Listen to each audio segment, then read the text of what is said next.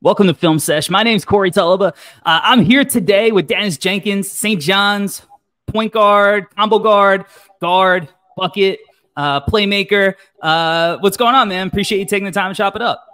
I appreciate you for having me, man. You know, just just chilling, trying to trying to stay, um, you know, mentally stable throughout this whole process. That's the whole thing right now. I think this is a good opportunity to to get into your game a little bit and, and kind of show what you can do and bring to the next level. So take me through this possession because I think you know this is more than just like a little combo move. There's a cadence to it, um, and there's setup. So so tell me what you're trying to do here when you got a guy on an island like this.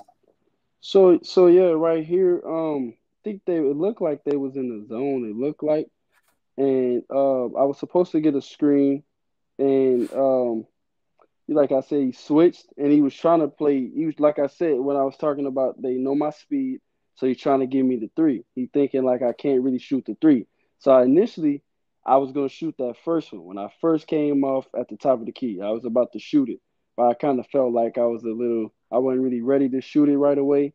So that's when I had to. I checked him. I had to check him. That's where the between come from, and I see what he doing. And then he backed up some more, and then that was just where the side. That's when the I do work on that step back shot, and then that's where the just the step back came into play, and I just shot it. That's you know, yeah. splash, right? A splash in, in your eye, in your eye.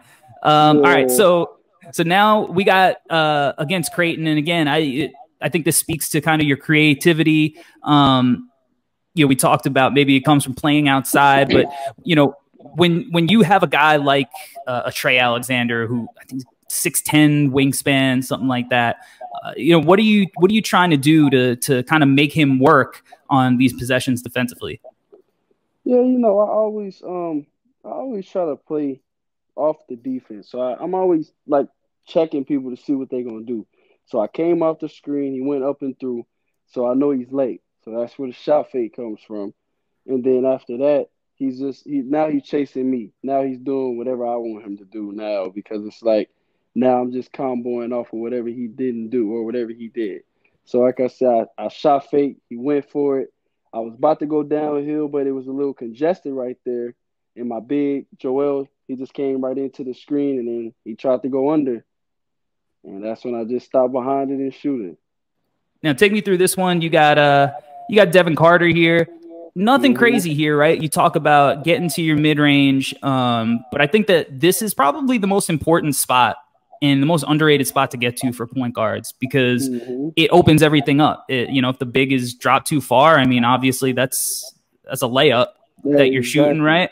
And and and now, you know, after you hit a shot like this, they're going to have to step up. Guys are going to have to rotate. It's going to open up the weak side.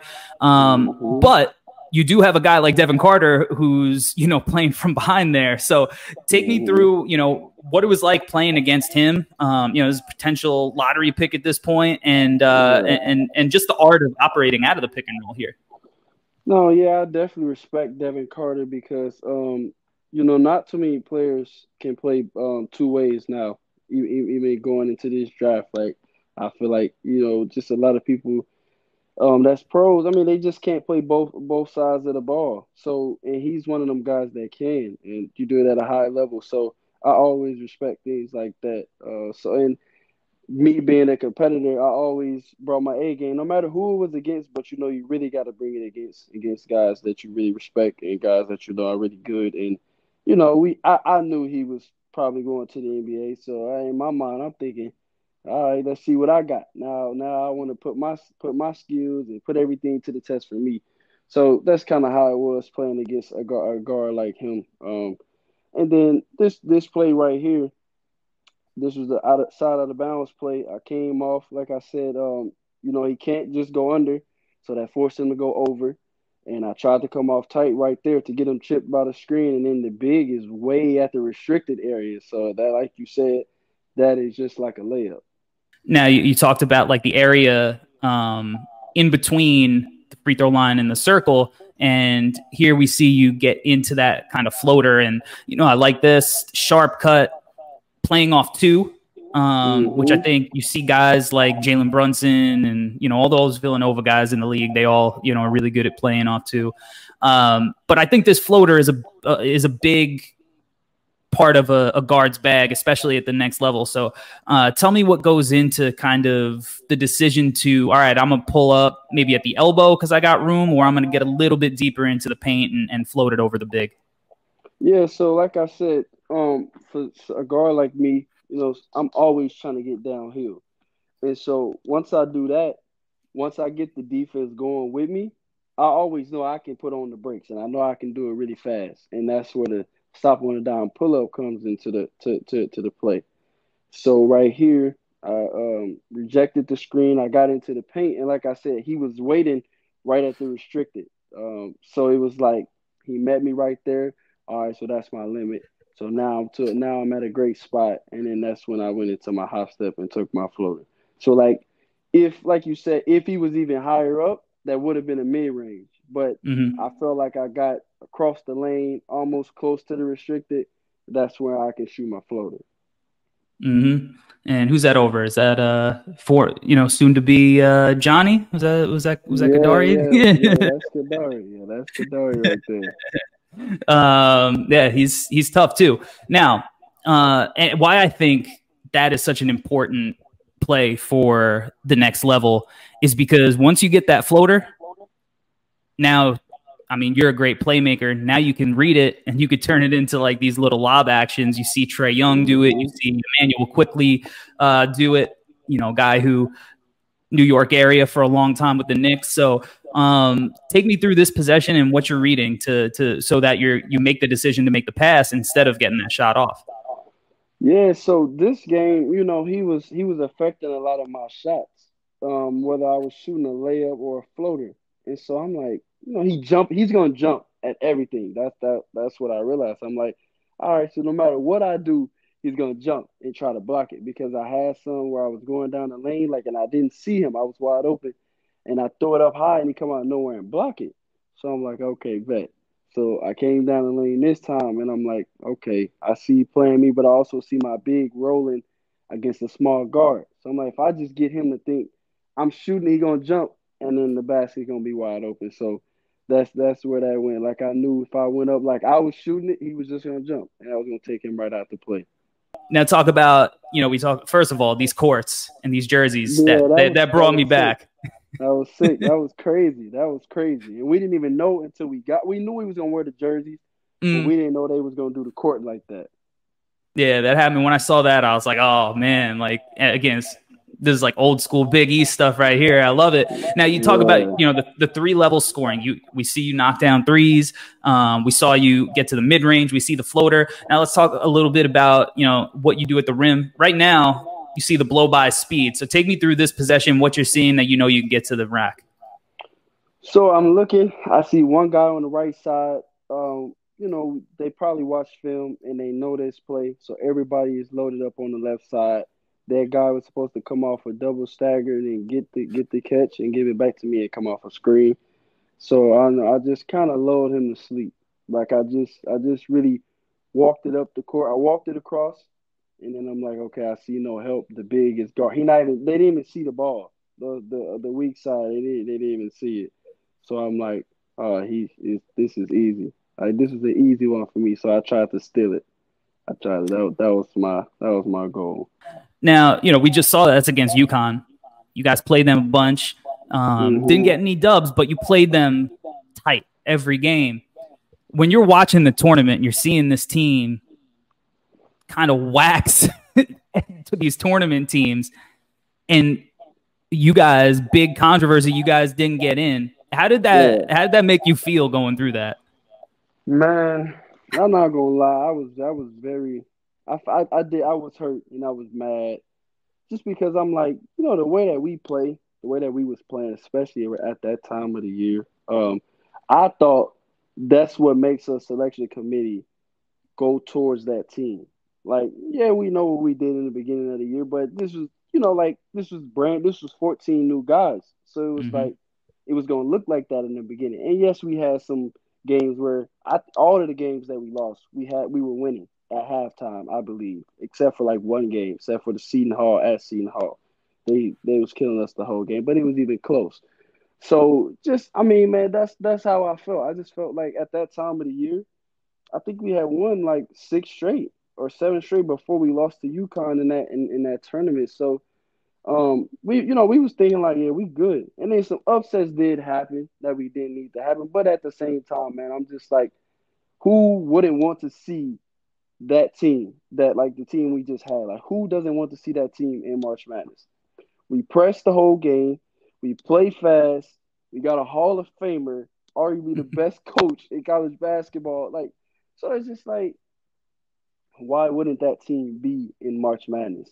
Now, I think you know if if you talk to scouts or, or teams, and there's one area of your game that offensively the scouts would say you know they want to see improve a little bit, it'd probably be you're finishing at the rim a little bit.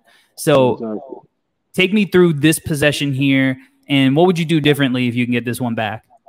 So right here, um, I think I would have just went straight up, like because I think that's Tyler Kolek under that rim mm-hmm. and he's not gonna block my shot.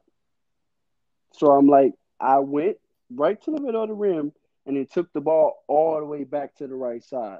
When I could have just went, I could have either went into his chest or just mm-hmm. right up over him because I like he's not he's not blocking the shot. No, and and I'm taking away um now now the officials they really don't have to call nothing. So now I could I could put the pressure on them. Either they call it, even if they don't call it. But it just that's the that's a great play. They know I'm, I'm taking it strong to the goal. So now next time maybe I do get a call that's probably not a foul. Just just little things like that. So I think I could have um, definitely went in, either went into his chest or went straight up. Because you see, he actually moved out the way. Like he mm-hmm. didn't want a foul. He does he doesn't want the foul, and he's not trying to block the shot. So I could have went straight up. Yeah, especially. I made, I made, especially because you get Chase Ross behind you. So like now you go into hit, now you're getting hit by two guys, right? And just yeah. now you're at the line where you're an 85% shooter, and you get to the line a lot, like you you have, and you knock them down, um, make them pay. But especially, yeah, like you said, like it ain't Ryan Kalkbrenner at the rim there. Exactly. It's it's Tyler exactly. Kolek. Exactly. it's Tyler Kolek. You don't got to avoid it. You can go right into him. Um, exactly. Right, but you know, look, you you got some touch and, and some skill at the rack. And you see that here where, you know, you do go kind of into the body and, and finish through again, that little split in the double. Mm-hmm. So you've shown it, right? You have it. And, and is that, are these the kind of things just like working on your body? You talked about getting the focus 100% on basketball. So like knowing like, is this the time you're like, all right, I can get stronger. I can work on these finishes. Like, are these the kind of things mm-hmm. like that are part of the focus? Yeah, hundred percent. Like like the way I'm feeling right now, I could really try to take off on, on a play like that. You know, like just something different. Or now I know either I could play off two feet and get and get, and get the foul or get an even better finish, even sure finish. So it is definitely um now like that's the focus. That's the focus because like you said, I know if anything it, that that's the area I, I need to um t- continue to pro- to improve on. But the thing that's so the, the thing that's most interesting about your game to me um, obviously is is you talk about your ability to make plays and there's a nuance to passing uh, it's mm-hmm. it's you know you can you can read the game and make quick reads and you can manipulate the game i almost sometimes i mm-hmm. refer to it like um, a freestyle rapper versus like drake you yeah. know like a lot of guys can read and make quick decisions but like can you make a hit song like can you manipulate a ball screen? Right. So um, take me through like when you're running pick and roll because you do a lot of little nuanced stuff on this possession here. So yeah, right here, um, I know they try to ice it towards the sideline. So I'm just, I'm really just trying to rock him one way to like I was about to come off, and as soon as he jumped it, I crossed, and then now, now I'm basically playing like they both are playing me. And then I know that bottom guy, he not even look, he not even he didn't even mm. see the mm. ball. So it's yeah. like nobody is back there at the rim. So now I just gotta engage that big. That was my whole thing. Make him think I'm trying to drive downhill. And like I said, because I am a great scorer, he had that's why he stepped up like that and had to respect me. And then the big is rolling. Joel rolling to the goal wide open. With momentums. I mean, come on. exactly, exactly. Ready to jump through whatever down there. Yeah, he's you're gonna end up on the floor. Um, and yeah, because even if there is a tag there, and you know we'll see your ability to read the floor later. Like if if somebody is in the paint, like you can make that corner hit too. So it it it really you know poison. That's really what it is. it's pick your poison 100%. Um, so, all right, now what I, I, like this one too. Again, like basketball is simple sometimes, like, but uh, to me, what stands out about this pass is the placement, where yep. you throw it up where nobody else can go get it. So, um, yep. how important is it to like, you know, throw it to where guys can catch it away from the defense? Nah, you know that's so funny because the whole year when I used to throw Joel lobs, uh, I would throw it to the to the top of the gym, like to the. I would really make him get up to go dunk it because I'm like, look, I'm not turning it over throwing a lob because you know some coaches may say, oh, that's not a sure pass, right? So I'm like, okay, it's either it's going out of bounds or he gonna catch it and lay it in or dunk it. So uh, right it's like I know I know for sure nobody's gonna catch it but him. It's on him to make the play after that, but he's right at the rim. So for me, I always just try to put people in the best positions possible to be successful. So that's why, like I said, I threw it high like that. I know, no, even like you say, even if he tried to get there, he's too little. Like he, mm-hmm. you can't go through that big body to get the ball. So that's why I threw it up like that. Now, this one, these are the kind of passes though that are like the impressive NBA level reads because you know, like these are the next level reads. These are the reads that the young guys, lottery picks, raw mm-hmm. potential, right? That we hope they can make one day. These are the mm-hmm. reads you're making. So, so tell me, you know, what you're seeing and, and, how you're reading, you know, the entire floor, so you know to make this weak side pass. So I think, like you said, so that guy that's guarding that corner, right? He wasn't in the game when I just made that first pass. So they telling him on that bench, take away that roll pass, right? That's the same exact screen we just ran. Mm-hmm. And now he now he looking at the ball. Now he ran all the way to the lane from the corner to try to tag that big right there. And that was just easy. Like that was just like I'm I'm literally looking at it. Like my eyes are literally up watching him. Like and, and that's a testament to Coach P as well too. And that is some natural abilities as well. But he always told me to, you know, you that's who I'm reading. That's my read right there.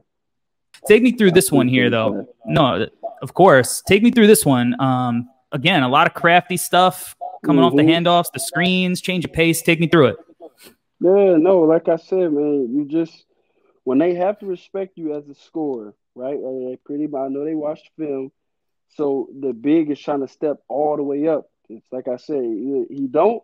I'm gonna get. I would, I would go all the way to the goal if he didn't step up right there and then I just keep him engaged as long as I can, and I know nobody's on that backside. Like I could see the guy he's where like that's our shooter right there, so I know he's not leaving him, the shooter in the corner, so nobody's right there to help. And then when I get into the paint, I just like I said, I just put it to where I know I trust where he was at. Like he know he know I'm gonna get him the ball no matter. I don't know how I'm gonna get it there, but he know that ball was coming. You see, he was ready. He was waiting on it. Like he knew the pass was coming yeah, man, it's it's all showing on the film. But now let's get into your defense uh, because I, I, think that again another aspect of your game that that you become underrated on. It sounds like you you take that side of the floor personally. Yeah, most definitely. So yeah, take me uh, take me through what what you're trying to do when when you got um, you know you're on an island and, and you got somebody just trying to come at you. Yeah, so right here, um, I know Trey Alexander is great, right? But every time he go left, he pulling up. So I know he wasn't going all the way to the goal to shoot a left-handed layup. Like I don't even know how many times he did that this year, but I was just on the film. So I'm knowing our goal was to keep him off his right hand and play the pull-up. So I took the he tried to bump me off. I took it in the chest. I kind of like bumped him back with my chest, and then I just contested the shot. I got mm-hmm. off the ground. When he got off the ground, and I contest the shot. And like, right, it's like it's like that's when the game. That's when I know I'm in the game. Like when somebody try to come at me and just you know score on me because that gets me into the game. Like mm-hmm. I really don't even care what happened on offense. Like I'm knowing if I come down and stop the best player, yeah, it's like my my confidence really go through the roof for offense. And now you're just having fun. And Take me through this one basketball. again. Top potential top five pick, Steph Castle. What are you trying to force him into? So um, I knew I knew he's pretty much a driver. He he really he really wasn't shooting it that just that good yet. And so right here, I knew the screen was coming. I tried to get through the screen and just get my chest back in front of the ball, or or if not, a chest on chest. So now when he bumped me, I'm ready. I could I could buck back with my chest and then just contest the shot, and that's going to his left. So I felt um I was gonna be ready regardless. And then my big was obviously there to help me because he weren't able to get a full head of steam to where he can just go and try to take off. So that was that was my goal right there on this play. All right, so now Villanova, kind of a, a physical, you know, wing. Take me through this one. You remember this play? Yeah, I definitely do. I actually I said something as I blocked it too. Yeah, but, okay. Nah, but no, because we you know, it's so funny because this whole week before we played them, we was practicing these type of plays right here. Um the they, they like to bump you and then they like to uh, try to try to just muscle through you and, and lay the ball up. So right here, uh, tried to cut him off his right hand, tried to keep him on that side of the goal or that side of the court, and then I just wall up at the rim, and then I saw I could block it, so I went to block it. I got my yeah. chest, like I said, I tried to get my chest square with him, and then mm-hmm. he bumped me. I tried to take the bump, and then I just went up and blocked it. Yeah, good timing, good physicality playing uh and I think again, you know, even looking back at like talking about your your layup attempt uh, against Tyler, when you you know on offense, like you don't shy away from physicality. Like you're a physical guy. It shows up on defense. So you know, I, I, mm-hmm. think even you know possessions like this show the optimism for you know like you embracing that uh, on on defense as well. Um, now, take me through this possession here. Um, quick shifty guard take me through what you're trying to do here and what happens so, here. So right here, right, he got me. I kept looking for the screens, um, and I kept expecting kind of like me to have help. You know, mm. like I, I kind of, like I kind of, you see right there, like I'm like, why did my big, like for me, there's no low man. Would, yeah, I'm like, why, why are you running right back to him? He's going to the middle of the paint. He's not a live threat. He doesn't really score that good. So I'm like, for me, you can drop all the way back under. Like he can be under me, ready to help mm-hmm. me. Because if backpedaling, yeah, if he passes you right there too. So for me, I just think knowing who you're playing with and just knowing how you got to play. So right there, like I said, that was on me. I could have like I stopped my feet when he stopped his feet. I stopped my feet, and I should have mm-hmm. got below the ball and made him snatch back and shoot, and maybe you take a step back shot, and then I could test that. So right. that's that's what I would have did different right here. I should have got below the ball. I stayed at that level, and that's why that hezzy worked. Right. But again, you know, the the physicality, playing up, because I think you know at the NBA level, it's not like all right, can you guard your position? It's mm-hmm. like you guard when somebody hunts you on a mismatch, and as a rookie, like, I don't care if you're a freshman, I don't care if you're a senior, you're a rookie when you get to the league and they're going to hunt you. So, tell me what you're trying to do when you play these physical guys. Yeah, right here, I'm just trying to show some fight. That's all I can do. That's I just want to fight. I just want to fight and compete. That's that's all I'm thinking right here. Like when he get this ball, I'm knowing he gonna try to come into my chest. So I'm just ready to take that bump. And you see, I didn't really move back to where he could just turn and just shoot an easy shot. And so I did my job. Like even if he would have made that, I'm mm-hmm. right there. Like I'm right there contesting both hands up, all chest. So I'm just like I, I did I did. And, and I think right using there. that length is something that you do really well um, consistently. So now one more against uh, Creighton here. Um, again, showing your switchability. You start off Trey Alexander, future mm-hmm. pro, switch on to Baylor Scheierman, future pro, and a big dude, like under like sneaky, mm, sneaky, pretty big. People don't know that until, until you play against him. Yeah, he's sneaky big, sneaky strong. He can hoop for sure. Um, yeah. But tell me what, what you're trying to do on on this possession.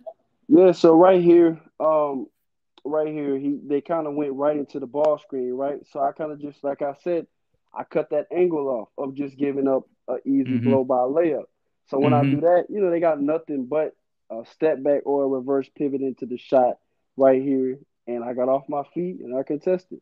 And so we're gonna live with the results. Even if he was to make that, I did my job. Like that that that was the best defense that I could play right there.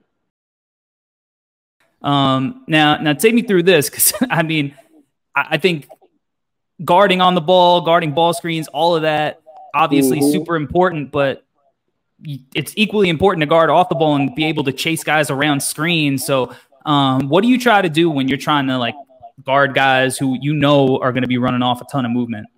So right here, you I'm I'm supposed to get into his hip early, so where that screen is not like he still he even came off wide, like the the big moved, but he came off wide and I didn't really touch him. So to to actually guard that even better, you see how wide he came off and the big slid all mm-hmm. the way into me. So it's just like that's my goal though. That's my goal to push him as far as away from that screen as I can and to get skinny. Kind of to get on that get on that outside hip and then right after the screen get back in front. You know, whether ball. it's offensively or defensively, you know you're going to bring it on the defensive end. You know all the skills that you have. You know what you have ahead of you, what you can work on. Um, now, you know, look, if uh, I'm sure I know you're going around to workouts, you, you talk to teams at Pitt, but you know, if if I was, you know, an executive and we're sitting down in an interview, you know, why should I invest in you at the next level? Uh, because you know, I'm a I'm a perfect locker room guy. I could I could fit in any locker room. Um, prefer tough locker rooms, very competitive locker rooms. Um, like I see, not gonna be not gonna be a problem, no trouble, nothing like that. So all the off court things are taken care of, and then on the court, I'm just looking to to help or or to play any role that will get me on the court that or that'll make the team better.